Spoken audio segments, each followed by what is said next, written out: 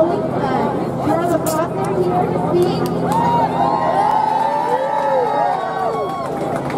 Come on up, Carla. Oh, and Dan's be with us too. Come up, Dan. Come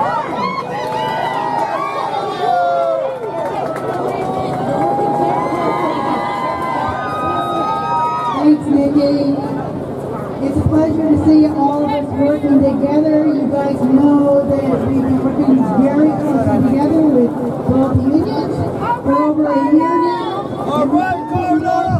To be united with our brothers and sisters. It's nice to hear, or sad to hear, that uh, strike is going to have to go through if they don't come through at the table, but you know, they haven't come through the table for so long. That's all right. So I'd like to say that, as you know, you guys are all understaffed, right? Classified or wiped out too. We have over 400 vacancies.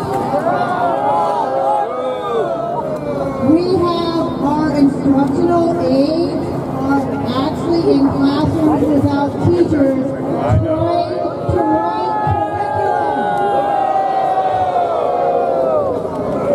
We have teachers aides create curriculum so the kids can get some sort of an education. Do our kids deserve that? Can the district do better? So we have bus drivers, right?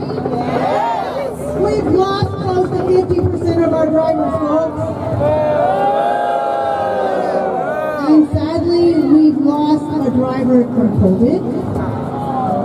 We have one on a respirator from COVID that was on the bus because the social distancing, the three foot thing was not honored, right?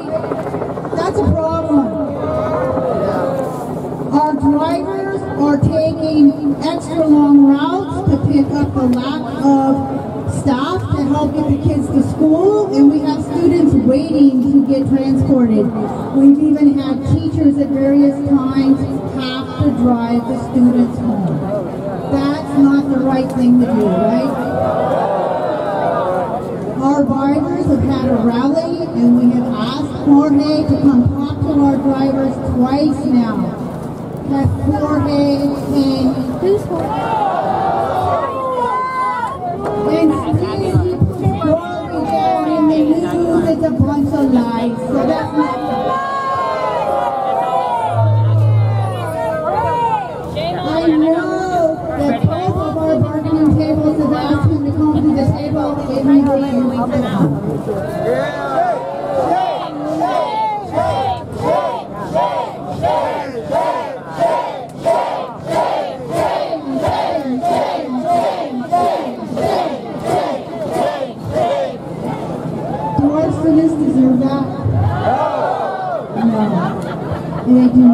And it's really sad that when we go to the table, we've at the table, we were just looking up an email, it's back to 2020, we still don't have a contract.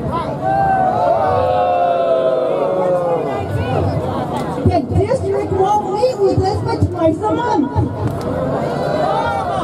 The district won't come to the table with counter proposals.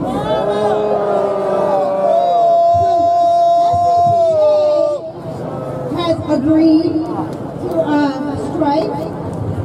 SEIU had a 97% approval for a strike, right?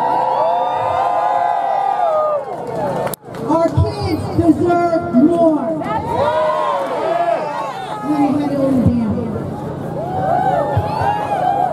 I just want to echo uh, what our